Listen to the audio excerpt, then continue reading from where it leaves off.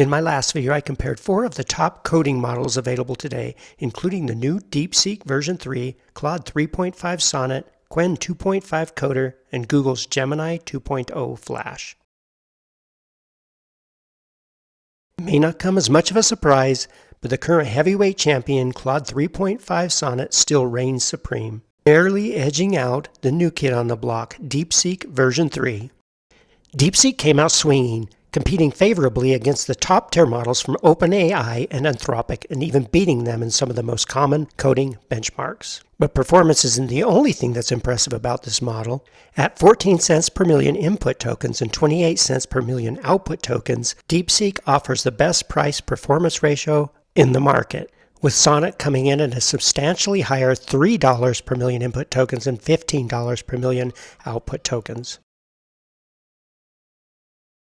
The project I started during the comparison is Contextly, a project I am building to help AI users manage prompts and context artifacts. I'll be using this application in this video as I take a deeper dive into DeepSeek version 3, demonstrating how to get the most out of it when developing Ruby on Rails applications.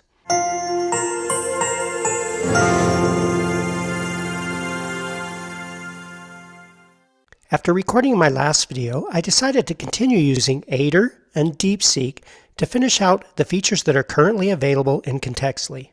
Users are able to create, read, update, and delete prompts in an interface that rivals single-page applications developed with tools like React and Vue using modern Rails, including Hotwire, Stimulus, and Turbo.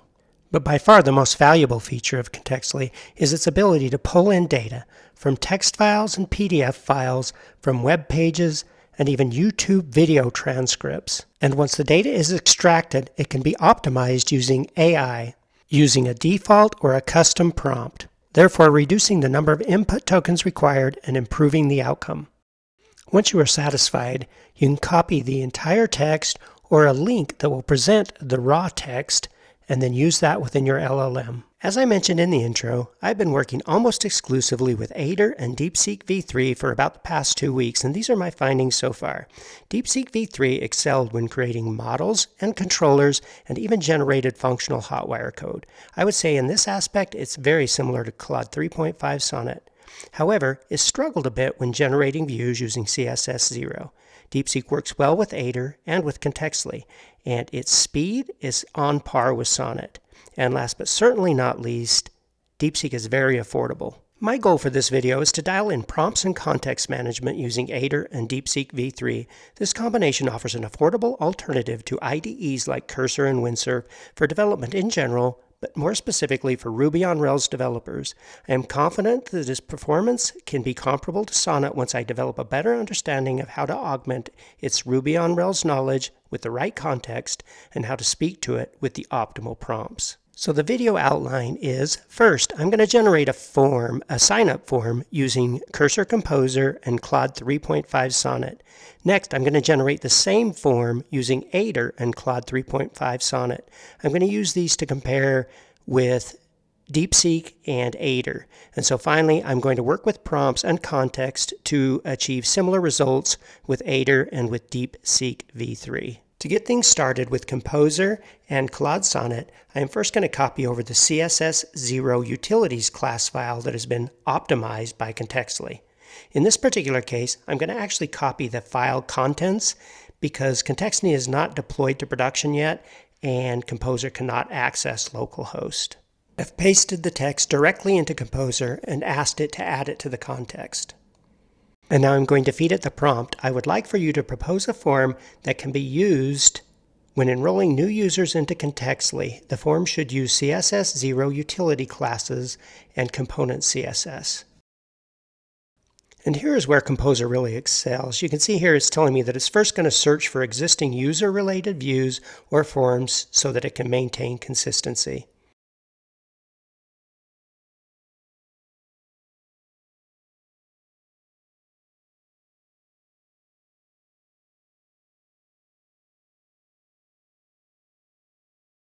I can already see from the summary here that it's using CSS0 utility classes appropriately.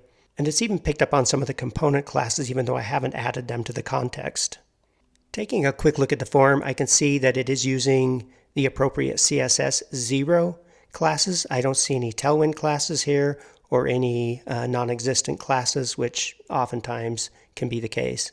So clearly we've set the bar high here. Now I want to see how Aider can do with Claude Sonnet 3.5. And so I'm going to switch models. And you can see here that Aider is now using uh, Claude 3.5 Sonnet for both the architect model and the editor model. And now I'm going to feed it the exact same prompt that I fed Composer, but I'm going to use the ask command to ensure that uh, Aider doesn't try to save the generated code just yet.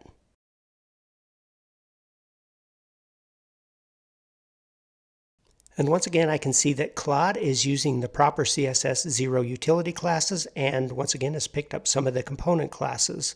A quick scan of the file and I can see that it is 100% CSS 0.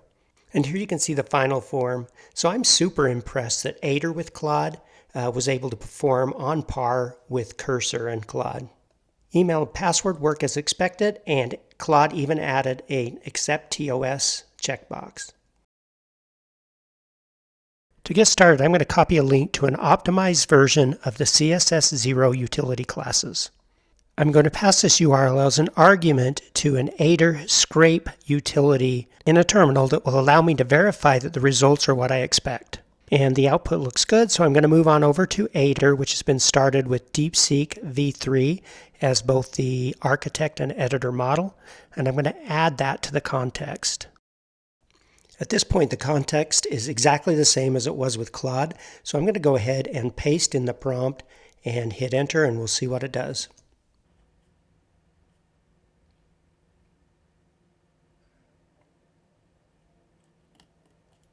And I can see here uh, that this is using Tailwind classes here with this gap dash asterisk, same thing with the padding, and we have this um, max width, medium, MX auto. A lot of these are tailwind classes and these hover classes with these uh, classes that do not exist in CSS 0.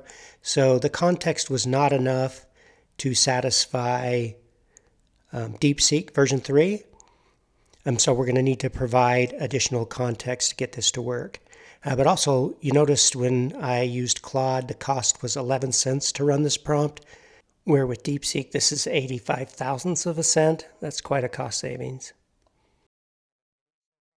So I'm going to give it a second prompt and see how it does. This time I'm going to run it with the um, Aider ask command so that it doesn't attempt to save the code that it generates. But this prompt reads, the form you generated uses several Tailwind classes that are not available in this project. I would like you to use CSS 0 classes exclusively. Also, could you leave out the focus and hover classes for now?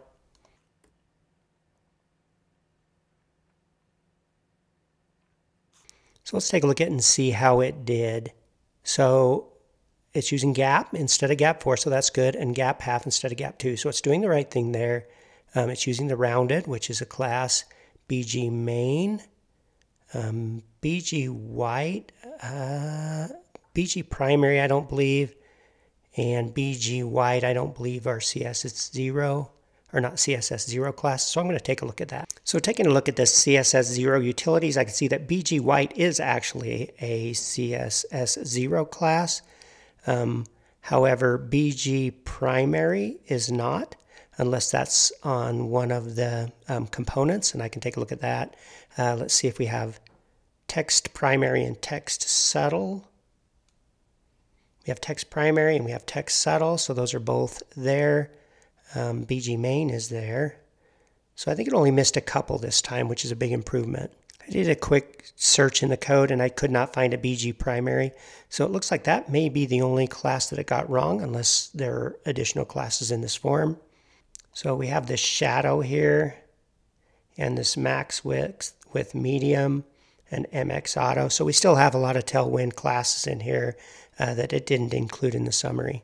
So one thing I've learned when working with these models is sometimes it's just best to ask it what it needs in order to accomplish a goal. So I'm going to do that. So I'm going to ask it, the form you generated still has quite a few Tailwind classes. What can I provide you with in order to prevent this from happening in the future? Some ideas might be examples that use desired classes or the CSS for various components, in this case forms and form elements.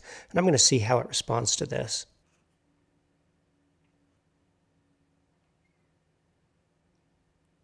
So let's see how it responded. Um, okay, saying this version is more conservative, using only flex, flex col, gap, gap half, P2, P6. And again, MT4 is not, that's a tailwind. Uh, this would be MI4 for CSS0, BG main, those are both good. Those three are all good. Um, border and rounded are good. So let's come back up here and take a look at the form and see if it missed anything else. So uh, this helped a lot. So it did a much better job um, just by me prompting it again.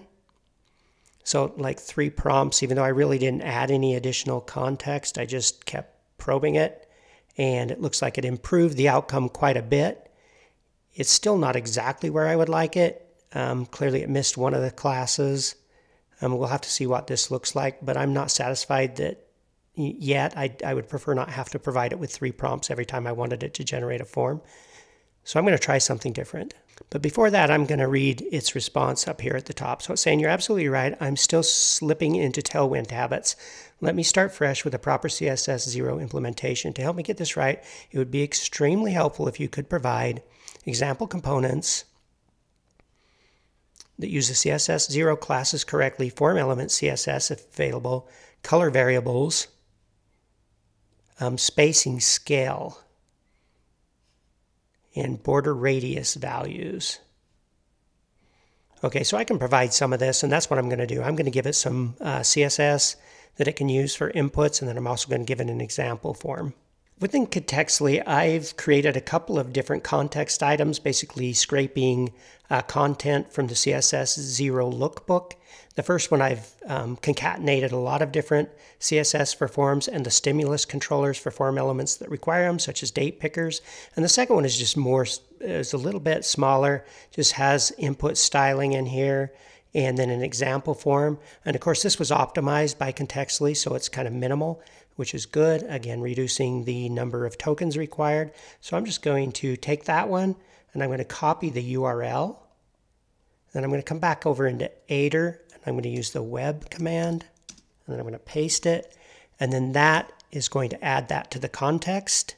Then I'm going to ask it if that helped and if it can try regenerating that form. I'm going to ask it, I'm going to say, I added the CSS for some form elements and an example form both using CSS 0. Does this help? Can you model the sign up form based on this? And once again, let's see how it does. So far this looks good because it's telling me, yes, this is extremely helpful. Based on the example form in CSS 0 documentation, I'll create a sign up form that matches your styling convention. Here's the implementation. And so far so good. This looks really good. Um, we don't have um, any Tailwind classes so far and it's actually using the input class from CSS, or I mean, yeah, from CSS 0, which is good. And so, yeah, I think um, we have success here. This is probably the best we're going to get. Um, the cost is still uh, less than a penny. It's at one hundredth or twelve hundredths of a penny, which is pretty impressive. Um, that's a hundred times less than um, Claude to accomplish this goal. However, time is worth money, and so if I have to run this many prompts every time I want to accomplish anything, that certainly isn't good. Um, but in this particular case, now that I know how DeepSeek works a little bit more, I can provide these context items more easily when I'm making a request. And here's the final version of the DeepSeek um, sign up form, and you can see it looks really good. It's very similar to what Claude created. Claude added a accept terms of use checkbox, but it didn't have the confirm password. So they each have their um, advantages over the other. But overall, I would say it's definitely on par with Claude. So to summarize this video, I would say that Aider with DeepSeek version 3 is every bit as capable as Claude Sonnet with Cursor Composer. It just requires a little bit more careful management of your context and your prompts. Also, with Aider, use the ask command. It's a lot easier to modify your prompts and add context items before you generate and save the final code. It's a lot easier to do that than it is to actually go back and modify the code after it's generated. If you like this kind of content, please subscribe to my channel. And if you like the video, please hit the like button below. I hope you enjoyed the video. Thank you for watching.